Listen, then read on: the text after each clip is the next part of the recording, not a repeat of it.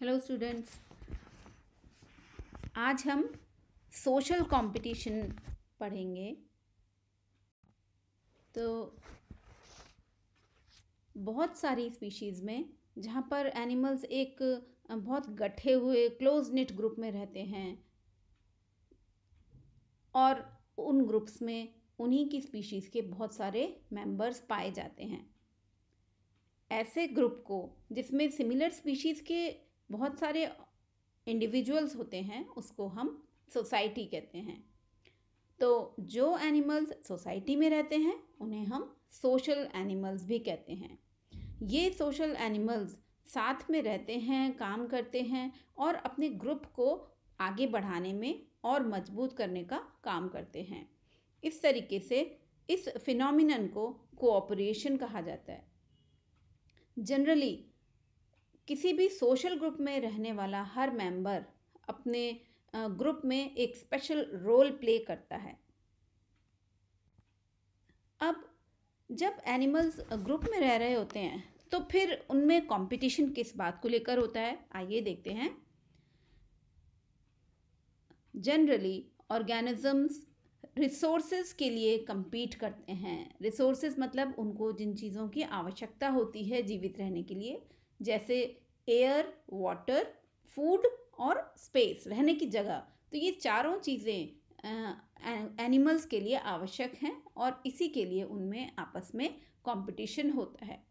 जिस जगह पर ये चारों रिसोर्सेज एयर वाटर फ़ूड और स्पेस सफिशिएंट होते हैं कंफर्टेबल को एग्जिस्टेंस के लिए काफ़ी होते हैं एनिमल्स की उसी स्पीशीज़ के तो वहाँ पर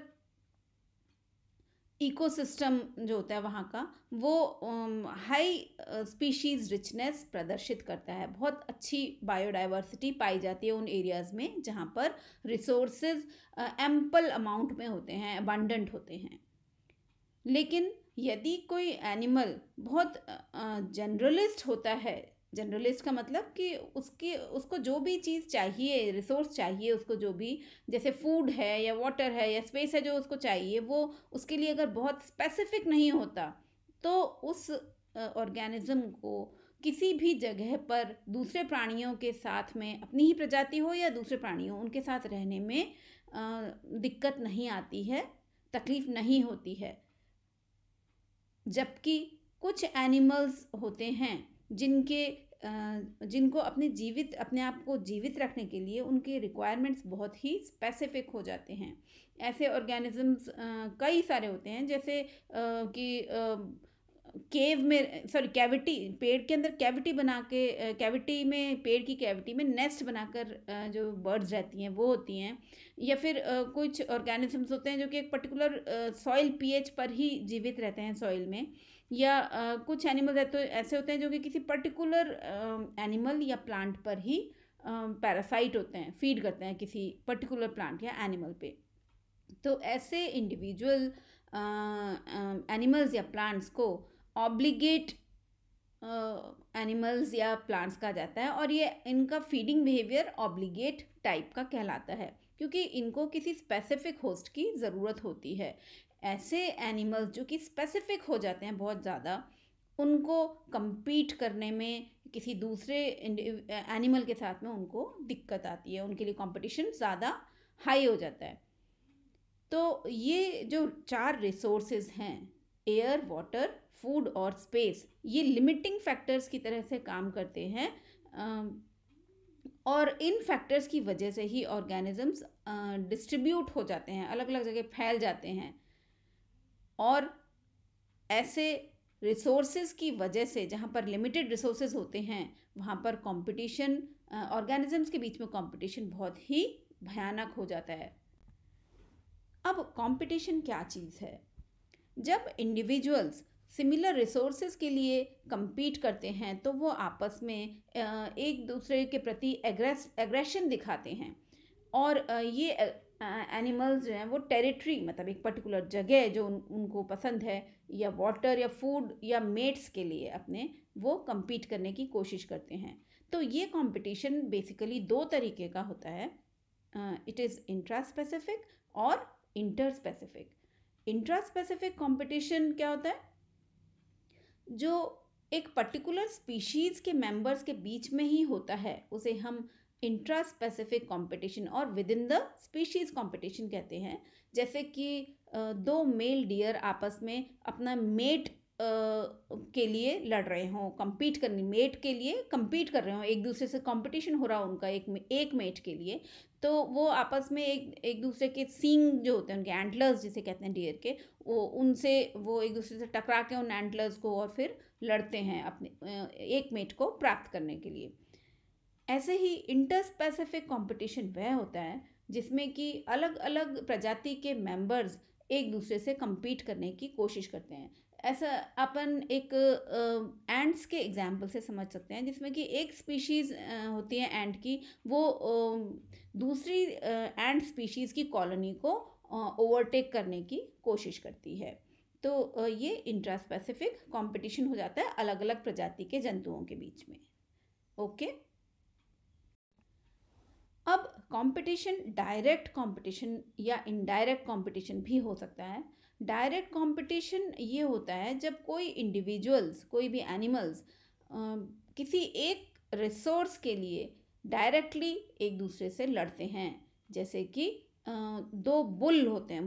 मूज एक प्रकार का कैटल है, एनिमल है। टू बुल मूज जब एक सिंगल फीमेल को पाने के लिए, प्राप्त करने के लिए लड़ते हैं आपस में तो then it is known as direct this type of competition is known as direct competition indirect competition क्या होता है कि जब ऑर्गेनिज्म सेम रिसोर्स को यूज़ करते हैं, लेकिन डायरेक्टली एक दूसरे से आपस में वो इंटरेक्ट नहीं करते, जैसे कि एक वाटर होल है किसी जंगल में और उसमें चीता और लेपर्ड्स हैं।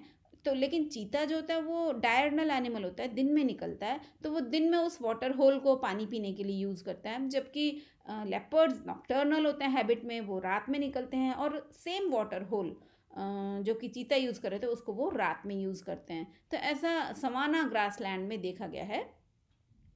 तो this type of competition is indirect competition next type है इंटरफ्रेंस कॉम्पिटिशन इंटरफ्रेंस कंपटीशन में क्या होता है कि एक इंडिविजुअल अपने एक इंडिविजुअल दूसरे इंडिविजुअल को एक पर्टिकुलर एरिया में से रिमूव कर देता है, हटा देता है उसको वहाँ से, जानबूझकर डिस्प्लेस कर देता है और ये डिस्प्लेसमेंट डेलिब्रेट होता है, जानबूझकर किया गया होता है। जो ज़्यादा ताकतवर नहीं होते हैं, ज़्यादा कॉम्पिटिटिव नहीं होते हैं जो इंडिविजुअल्स उनको उस जगह से बाहर जाना पड़ता है, उस जगह से दूसरी जगह पर जाना पड़ता है और अपने लिए नए रिसोर्सेज तलाश करने पड़ते हैं। तो अब देखते हैं कि फोर्सेस ऑफ़ कंपटीशन क्या हैं। तो ये दो प्रकार के होते हैं। कंपटीशन मतलब किस वजह से होता है? यहाँ पर ये फोर्सेस जो हैं वो कंपटीशन किस लिए होता है एनिमल्स में, वो बता रहा है। तो ये दो वजह से हो सकता है। जो फोर्स जो गवर्न करते हैं कंपटीशन को देर आर टू टाइप्स एक तो डिफेंसिव बिहेवियर और दूसरा अग्रेसिव बिहेवियर डिफेंसिव बिहेवियर क्या होता है? देखिए जब कोई जंतु अपने रहने के लिए कोई जगह ढूंढ लेता है अपने जीवित रहने के लिए सरवाइव करने के लिए वो रिसोर्स ढूंढ लेता है, खाना, पानी, हवा, सब चीज़ें मिल जाती हैं उसको तो वो ये चाहता है कि वो उस जगह को होल्ड करके रखे, उस जगह पर आराम से रह सके, वो उसकी जगह हो जाए। तो इस तरीके से इस, इन चीज़ों के लिए क्या होता है एनिमल टेरिटोरियल हो जाता है। वो वो एक टेरिटरी बना लेता है जहाँ पर उसको सारे रिसोर्सेज एम्पल में अवेलेबल हो जाते हैं। अब जब टेरिटोरियल हो जाता है तो वो अपनी टेरिटरी को बचाने की कोशिश करता है क्योंकि उस टेरिटरी में वो सभी रिसोर्सेज प्रेजेंट हैं जिसमें जिन पर वो जीवित रहता है। तो एनिमल्स अपनी टेरिटरी डिफेंड करने के लिए अलग अलग प्रकार के ऐसे देखे गए हैं इनमें। जो रिसोर्सेज जो हैं, जिनको वो डिफेंड करते हैं अपनी टेरिटरी में। ये रिसोर्सेज इंक्लूड करते हैं एक फ्रेश वाटर कन्वीनियंट सोर्स होना चाहिए फ्रेश वाटर का। बहुत सारा वेजिटेशन होना चाहिए और उनको एनिमल्स को अपना शिकार आसानी से मिलना चाहिए, वहाँ पर खूब शिकार होना चाहिए, उनका डेनिंग साइट्स होनी चाहिए मतलब जहाँ पर वो अपनी डैन गुफा बनाकर जिसमें रहते हैं एनिमल्स तो उनको डेनिंग साइट्स अवेलेबल हों। तो ये सब जो हैं, वो डिफरेंट टाइप्स ऑफ़ रिसोर्सेज हैं जिनके लिए एनिमल अपनी टेरिटरी को डिफेंड करते हैं। Next type of force of competition is aggressive behaviour animals aggressive behaviour प्रदर्शित जब करते हैं, जब उनके जो टेरिटरी में जो रिसोर्सेज हैं, उनको कोई उनसे छीनने की, उनसे लेने की या उसको कॉम्प्रोमाइज़ करने की कोशिश करता है।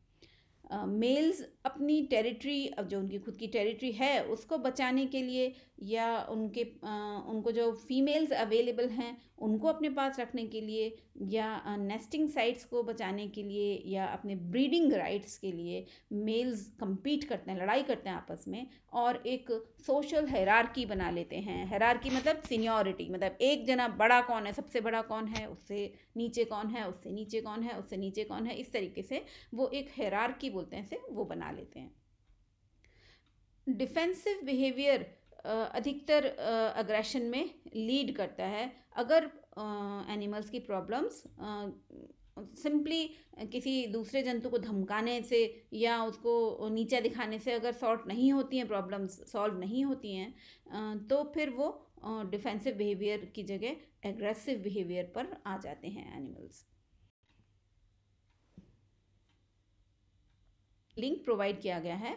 आप इसमें ये एक मूवी है, शॉर्ट मूवी, जिसमें डियर जब रट में होते हैं, उस समय वो किस तरीके से बिहेव करते हैं। रट का मतलब क्या होता है? जब जो डियर होते हैं, उनका मेटिंग सीज़न को हम रट कहते हैं। और अधिकतर कई सारे मैमल्स हैं, जैसे र्यूमिनेंट्स होते हैं, जैसे डियर है शीप है कैमल्स गोट्स हैं, इन सब में ये रट या मेटिंग सीज़न पाया जाता है। तो जब डियर रट में होते हैं, उस समय इनके डियर जब रट में होते हैं तो उस समय इनके आपस में मेल डियर्स में फीमेल को प्राप्त करने के लिए इनमें फीमेल को अक्वायर करने के लिए इनमें लड़ाई होती है और उसको हम डियर इन रट कहते हैं। कंडीशन वो जो है रट कहलाती है। अब इंसेक्ट्स और स्पाइडर्स में फीमेल्स कई बार बहुत सारे मेल्स के साथ में मेट करती हैं। कुछ स्पीशीज़ में फीमेल्स को न्यूट्रिएंट मटेरियल भी मिलता है मेल से और वो उनके एग प्रोडक्शन में उनको हेल्प करता है कि मल्टी मतलब एग्स का प्रोडक्शन ज़्यादा हो जाता है। अगर उनका न्यूट्रिएंट लेवल फीमेल्स का ज़्यादा होता है। अब अब एक क्रिकेट्स झिंगुर जो होते हैं उन आ, मेल क्रिकेट्स जो होते हैं जो फैमिली ग्रिलिडी को बिलोंग करते हैं या कैटिडेड्स जो फैमिली टेटिगोनाइडी को बिलोंग करते हैं बटरफ्लाइज और moths belonging to order Lepidoptera ये सब अपने आ, अपनी बॉडी का मतलब मेल्स जो हैं वो अपनी बॉडी का ट्वेंटी फाइव परसेंट वेट जो होता है उसको मेटिंग में कंट्रीब्यूट करते हैं। कैसे करते हैं? कि वो अपने स्पर्म्स को पैक कर देते हैं एक न्यूट्री न्यूट्रिटिव एनवलप में और उस न्यूट्रिटिव एनवलप को फीमेल कंज्यूम कर लेती है या एब्जॉर्ब कर लेती है। तो males after mating males have lost approximately twenty five percent of their body weight यानी अपनी बॉडी के वेट का इतना परसेंट वो फीमेल uh, को ऑफ़र कर देते हैं कंट्रीब्यूट कर देते हैं फीमेल के एग डेवलपमेंट में। ऐसे ही मेल स्कॉर्पियन फ्लाइज हैं जो कि पेनॉर्पा स्पीशीज़ की होती हैं, ये कॉपुलेशन के टाइम पे फीमेल को इंसेक्ट प्रे के फॉर्म में मतलब इंसेक्ट का शिकार करके और फीमेल को ऑफ़र कर देते हैं मेल्स एज गिफ्ट तो इससे क्या होता है कि न केवल फीमेल को अपनी एनर्जी बचती है फीमेल की शिकार करने के लिए जो फीमेल को भी तो मतलब फ़ूड चाहिए तो फीमेल की एनर्जी बच जाती है शिकार करने के लिए। और साथ ही साथ वो जो प्रिडेशन होता है उसका, साथ ही साथ उसका प्रिडेशन फीमेल का जो होता है, वो भी उसमें कम हो जाता है प्रिडेशन के चांसेस जब वो खुद फ़ूड ढूँढने निकलती है। कुछ क्रिकेट्स जो हैं वो फीमेल्स को अलाउ कर देते हैं कि वो उनके फ्लैशी विंग पैड्स को कंज्यूम कर ले मेटिंग के टाइम पे। और अधिकतर केसेस में, अधिकांश केसेस में, जैसे रेड बैक या ब्लैक विडो स्पाइडर स्पाइडर्स हैं लैक्ट्रोडेक्टस जीनस की, जिसमें मेल्स या तो पार्शली या फिर कंप्लीटली फीमेल द्वारा कंज्यूम कर लिए जाते हैं। तो ये एक अल्टीमेट लेवल है जिसमें कि मेल अपनी अपने आप को ऑफ़र कर देता है खाने के लिए फीमेल को जस्ट फॉर मेटिंग तो इस तरीके के मेटिंग कंपटीशन इस तरीके से पाया जाता है एनिमल्स में। जब फीमेल्स कई सारे मल्टीपल मेटिंग पार्टनर्स होते हैं जब किसी फीमेल के तो वो उनमें, उन मेल्स में आपस में एक प्रकार का कंपटीशन हो जाता है जिसे स्पर्म कंपटीशन कहते हैं। तो ये जो कंपटीशन होता है स्पर्म कंपटीशन ये अलग अलग प्रकार के बिहेवियरल अडेप्टशंस में रिज़ल्ट करता है फीमेल्स में और मेल्स के अंदर ऐसी कई प्रकार की स्ट्रैटेजी अजीबोगरीब स्ट्रैटेजी पाई जाती हैं जिससे कि वो अपनी पैटर्निटी को मैक्सिमाइज कर सके, अपने फादर बनने को, के चांसेस को बढ़ा सके। स्पर्म कंपटीशन ऐसा माना जाता है कि ये प्राइमरी रीज़न है जिसकी वजह से मेल्स फीमेल्स को कुछ ना कुछ गिफ्ट देते हैं मेटिंग से पहले या मेटिंग के टाइम पे, जिसे नुपशियल गिफ्ट कहा जाता है। और यहाँ तक कि वो स्वयं को खाने के लिए भी अलाउ कर देते हैं फीमेल को। इसका मतलब ये हो कि मतलब कैनिबलिज्म भी शो करती है फीमेल और मेल्स अपने आप को अलाउ करते हैं कैनिबलाइज होने के लिए। तो ये जो गिफ्ट्स हैं वो मेटिंग uh, एफर्ट का बेस्ट एग्ज़ाम्पल हैं जो कि मेल्स uh, प्रदर्शित करते हैं। तो this is about competition social competition so thank you so much for listening to me now keep watching the video and study thank you so much